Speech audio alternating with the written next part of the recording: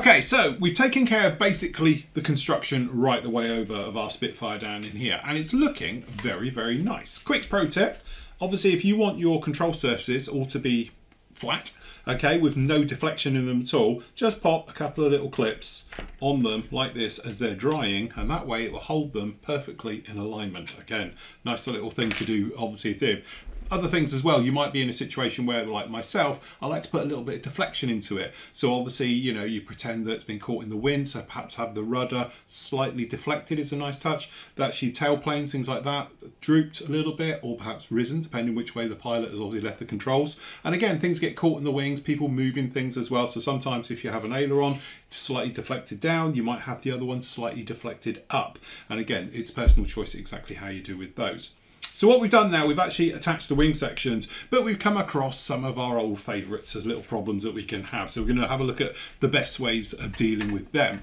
So as you can see down in here, if we just move to the, the close-up, you can see that we've got a little bit of a problem down in here. This side, no gap at all, but unfortunately this side we have got a little bit of a gap down in there. And again, we've actually now glued the tails on, as you can see, pretty good on the top, but unfortunately underneath we got a little couple of gaps down in there. And again, round here on the front, we've got a little bit, we've got this infill section down in here with the, uh, the actual intake. And then down in here, we've got some pretty nasty gaps. And again, we might have little bit of a nasty gap over here. So these are the types of the problems you're always going to get if you're modeling, all right? But again, there's lots of different things you can do to combat those and fix those, all right? So what we're going to do is have a look at some of my favourite ones. So down in here, obviously we've got this gap running down in this one. You could technically just come along with your filler uh, and start planting filler into it, but it's quite a nasty gap uh, and it's quite big and there may be a little quicker way of doing it. One is this. So this is plastic Plasticard, which is like quarter of a mil thick. It's about the thinnest I like to work with and it's what I call sort of fingernail thickness. So if I can get my fingernail in the gap here, I will always try and, try and use a little bit of plastic Plasticard. Now, why use Plasticard and just not filler? The great thing with Plasticard is, is that it's solid. So when you actually put it into the gap itself, a little bit of glue down in there, it's quite a clean finish because what you can actually do is just cut it, light sand, and your job is done. So it's a clean way of fixing things, but it does have its own problems as well. If you use anything thicker than sort of quarter mil uh, Plasticard like this, what can happen is, is that when you add the glue, it just turns to mush uh, and makes a little bit of a mess. So this is really as thin as you can get. Also, it's no good for something like uh, down on here. So obviously this is probably about the same thickness, but it's got no way of biting into it. So it's great for doing areas where, you know, perhaps you can use it, you know, down in the back here. If we had a bit of a step, you could just slide that down into there, use it a little bit as a filler. But on flat things like in here, and again on things like this we're going to take care of in a minute, there's no way of it actually getting a grip. So fine for these types of things. So what I tend to do is you just place it into the gap itself and again we're just going to push it in like that. Again it's all in there. It's taken it's in. We're going to take a little bit of the quick set glue. And then all we're going to do is just going to put a thin bead down one side just down in here. And then we're just going to come in with a very thin bit on the other side.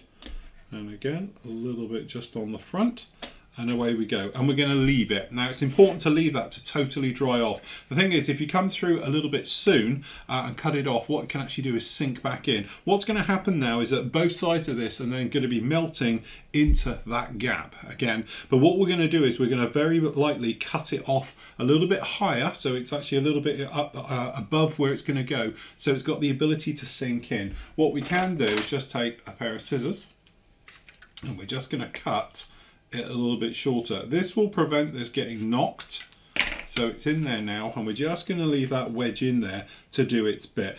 We're using the quicker set glue. It's probably going to take around about 20 minutes to go off. Once it's gone off and we're happy with it, we'll just run a blade right the way down in there, getting quite close to it, but leaving a little bit on there just so we can sand it down and plane it in. Great thing about it, it's quick. That entire job will be maybe 45 minutes and it's done, you can move on to your neck one, which is absolutely great. But as said, it's not for every area. So underneath here, we've got two little problems down in here.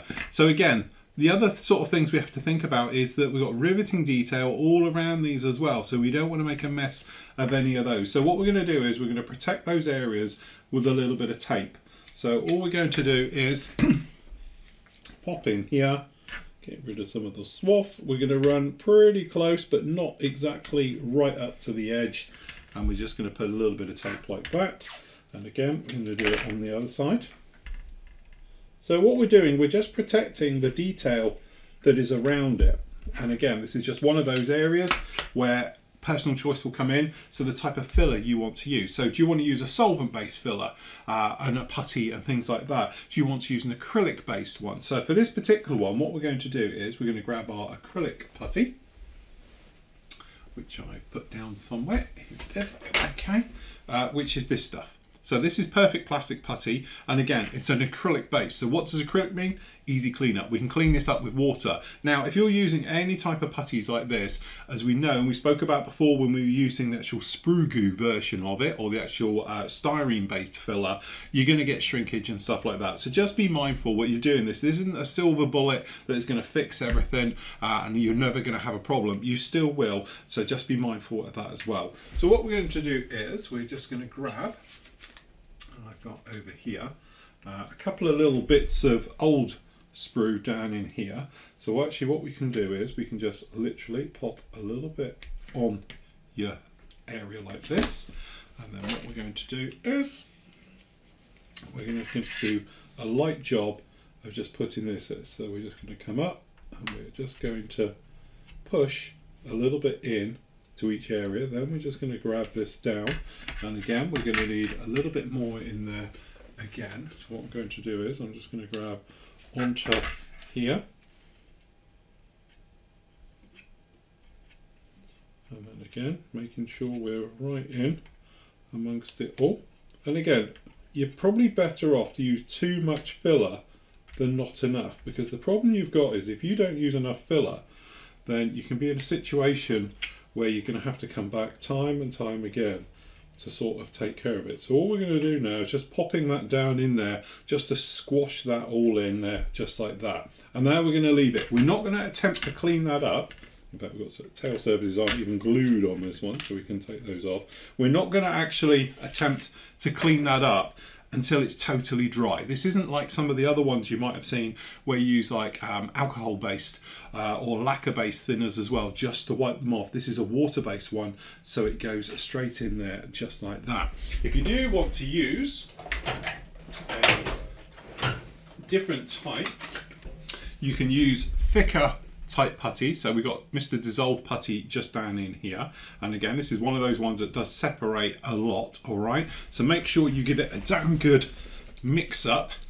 And what you can actually do is rub this one down, sand it down, but also you can use a little bit of thinners just to actually get this to come off. So this one can be particularly messy. And to be honest, it's why I don't use it that often. And again, so the great thing with this is you can pop it on with a brush. So if we just get an older brush down in here, what we're going to do is we're just going to grab a bit, pop it down in here. And again, we've protected our little area down on there, so that's quite nice. Uh, and then what you can do with this one, you can literally just brush this in. Now, downside to this particular one is it's going to take a little bit to dry. So this isn't going to be a quick fix on the drying front. This is going to take a little bit more just to uh, fill this all in. All right. But the plus side of this particular one, it's structural. So the great thing about this is this one is going to physically melt itself to the plastic as well. The acrylic one is almost just sitting on the surface. So if you were to actually bend the part, it will crack very, very easily and you'll be left with an area. So obviously that's it. Think of this one as somewhere between the two. So when we were using our uh, styrene filler, obviously that's made of the plastic, it's going through. This one is a putty base, it's lacquer base, it's running very similar to this one. It's just a bit above a personal uh, preference on which way you want to do it. This one over here, to actually melt it takes quite a bit. So you could come in with lacquers and it will melt it, but think of it trying to melt plastic, it's quite difficult. The great thing with this is we can come along with a lacquer thinners or an alcohol-based thinners, it will melt this and it will wipe it away, but it's not going to do it as cleanly as you'll see in a minute with the other one. So that one is taken care of just in there. Some of the other little areas you can have problems, and we can use this one for this particular version as well is down in here. We've got a slight sink mark. You might see it just there and across here. It's not particularly nice. So again, this is a good candidate for this. So you can just come along. And again, you could use your sprue goo uh, filler the homemade stuff as well but this one's quite nice for this particular job and then again as we're knocking off that which I don't want to uh, we can just take in here some of this and again we can just tap it along these areas and it will dry in quite nicely. And again rescribing should be quite straightforward with this one. And again this is drying pretty quick already. So again it's actually quite nice for this type of job. And again if it gets a little bit thick uh, you can actually just pop along with a little bit of thinners in this just to help this one go off. So again we're just going to go right across in there and take care of that. And then to be honest this one under here we're going to do the same way as well. So again we can just grab a little bit of this. And if you wanted to you could easily just come along and tape to protect the areas. But as you see here hopefully it's not so much of a problem. We can just pop this in here and sort of fill these little gaps. And again we're just going to pop it down in there just a little bit more just in here. And clean up with your brush. Obviously you just use a little bit of thinners and that takes care of those down in there. And then same thing along this one for this wingtip area. Because it is a technically it's going to be a panel line we can just pop a bit of this in. Again just taking your time just pop in this one. So this is actually very similar to the sprue goo but just think of it melting its way in. And again that's that one taken care of so that's actually looking very nice. And again you want to look around everywhere on your model. So again we've got a little gap down in here probably around about 50 50 so again, we're just going to pop generous amount right the way over in here because it's somewhat structural. And we can sand and we can easily take care of those areas. So that's those ones down in there just like that. So that's your different ways. So what we're going to do, we'll let those all dry off and then we'll come back and we'll show you about removing those and then the cleanup.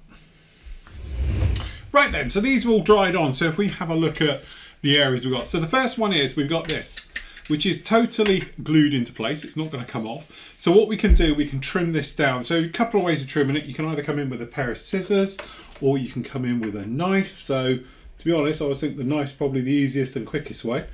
So we just pop the knife across, give it a rub, and there it is down in there. So as you can probably see, we just moved over to the close-up, you can see just a little bit of trim area on there. So again, this is one of those ones where you can, let's grab my glasses, see what we're doing here a bit better. You can literally just lay your blade on and then lightly scribe. So what you're hoping to do is to just to nip it in and there we go. And that has now filled, hopefully you can see, perfectly our joint. And you could get away with not doing it, apart from the bit where I've missed there and just scraped it with a knife. You can see you really don't need to do any more filling or taking any parts off of this. And again, probably could do with a slightly sharper knife, but you can see what we're getting. Bit up there.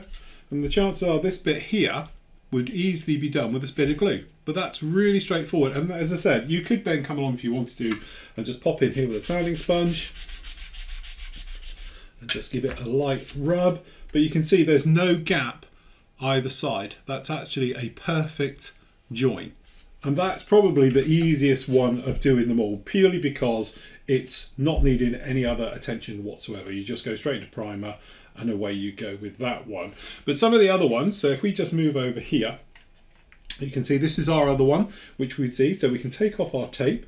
That leaves our little area. So this one down in here is actually quite a difficult area to get to. And the other thing to look out for is we've got lots of bits in there. So you could just pop in there with like a, a skinny stick, you know, which is a great one for popping in there or a normal sander. But the great thing about this is you, you just wet these with water so we just give it a bit of a, a wet and then we're just going to rub this over the area. There we go. This cleans this up with just, I just tease out the, the corner bit, just to get down in that little corner. And then there we go. That cleans that out and takes care of that seam beautifully. So really, just like the other one, just got that nice little bit of white line just down in there. And to be honest, we've got a little bit of filler just in that crack. So we'll just get rid of that. Final wipe, and we are absolutely good to go. And as you can see, we've got no filling of up any of the riveting details, and it is just a nice way. So that's fine. But if you were structural and you put any weight on that, that would easily crack. This little guy over here is a little bit more involved. So this one is actually our filler, but as you can probably see, it's taken the gap really, really well. The great thing about this one is that it sort of sinks itself in. It tends to sort of self-level itself out and it goes down in there. But normal water is going to do nothing to that. So what you're going to need is a tiny bit of lacquer thinners. Now I'm just going to pop a little bit of lacquer thinners on a, a cocktail stick uh, sorry, in a little tub down in here, and we'll grab a little bit of thinners on a thing here, and we're just going to give this a quick wipe over. Now the big thing is, is that this will do exactly the same as it did on the other side, but it will also slightly melt the plastic, which again is great because it makes it very, very tough join and it makes it somewhat structural. So I'm just to pop uh, a blade just down in this corner just so I can get my little bit of in here. So we're just going to re-wet that in the thinners again. And again, this is lacquer thinners, so it will slightly attack the plastic, but as long as you don't pull it around too much, you can probably see that that's completely gone down in there. So again, it's a slightly neater fill. And now this is lacquer thinners, this is dried off, that's in there. The great thing about using lacquer thinners is that's fully structural. So if you were doing something like a wing join and perhaps you had a little bit of wing weight into it, or there's a little bit of wing flex or something else in there, it will grab it. It's not gonna crack under any, under any circumstances at all. So these are the ones that we had under here. We can move these bits of tape. This is exactly the same type of thing. So this under here, you could probably come along with little bit of thinners. And again, if you use like a rapid dry thinners, the great thing about it is that it evaporates so quick it doesn't affect anything else, but you can just lightly rub over these areas. So forget this thing about coming in and obviously popping in with sanders and making damage and things, and you're just taking off that slight bit of height all around in there like that. And that's taking care of it absolutely fantastic. Same goes with these over here. So again, this is a nice flat area. So if you wanted to, you can come along with a sanding sponge. So I've got one of our skinnies here again, and we're just going to go, I'm just going to walk it and sand down that entire little line. And you can see it does a really, really nice job. So what I like to do is literally pop along like this just to take out the height. And again, a little bit troublesome because it's near that On, but that's now in there. Then we use a little bit of this and we just give it a quick wipe over. Now this gets rid of all the scratching and all the other bits of filler all around it. So now it's got that perfect fill line, just like that. And away you go. A little bit more tricky is this one down in here, because this has got a little bit of a step in there as well.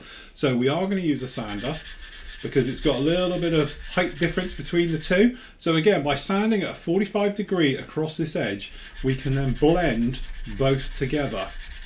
So we just go over. And then what you're going to have, obviously, as it makes the rotation, this area on this side is slightly higher at the back. So this is the high side, this is the low side, but on this one, this is the low side, that's the high side. So it's just going to take a little bit of work just to blend those in. And again, we've got a small little line, so we've got a deviation in the height. And we've got a little bit on the edge, which we'll just pop a sander into there as well. And then again, just trying to keep 45 degrees with your sanding just to aid the, the balance. And then again, into these areas. And then once we've got pretty much it all off. We can just come along with our thinners. And we can just blend those two in. Now if it starts to pull and starts to drag, add a little bit more thinners. And that will just make it slide a bit better. And again, just do these areas on the edges where we sanded, because this will melt all of this together. And there we go. We're all set to go. And by the time we get some primer on there, we are absolutely great. So again, this little guy down in here, you might remember we had that small little sink. So what we're going to do 45 degrees right the way over so again you can see it's taking it off just there but here it's got that little step just in there so again we're not pushing too hard we're literally just holding it over but we're just going to run this right the way over all right then we're going to cut to the sponge side just to polish in and there we go. That's that little sink mark that it had there. Same thing again. We're just going to add a little bit of thinners. Quick wipe over just to get rid of the thinners out of all the holes. And that's it. That's that taking that in there. There's a little bit still needed at the front. And away we go. And that is literally it. That's the quickest and the easiest way you'll be doing any of your sanding and filling. The rest of it is all okay. We're good at the top uh, and all these other areas. But that gives you a couple of different options on obviously sanding, and then obviously filling, what filler, when and where. As I said, I do like to use the sort of lacquer based ones, the proper fillers, if it's on a wing seam, because let's face it, sometimes you might pick a model up by its wing, and if it's quite a heavy model, you can put a little bit of weight into there. And if you've got, you know, just a normal, uh, you know, water based uh, acrylic, shall we say, filler, it's not going to eat into that surface. It's just filling the void, and then obviously it's going to crack, and then you're going to have a crack into it. Where this one, you know full well, will hold it as good as the actual glue will, and all the rest of it. The easiest and simplest way is to use this one we did in this wing root. If you can get away with a plastic card shim down in there, just Bit of glue each side, that will fill it no problem. Cut it with a knife, it's job. Doesn't even need any more. And for doing wing roots and things like that, that is probably the best and easiest one to do, especially if it's a completely deep void, as in there's nothing behind it that you can actually put the filler onto just like that. So anyway, that's that done. So what we're going to do next is obviously we'll look at riveting, we're going to look at rescribing, and then we're going to look about masking up and attaching clear parts.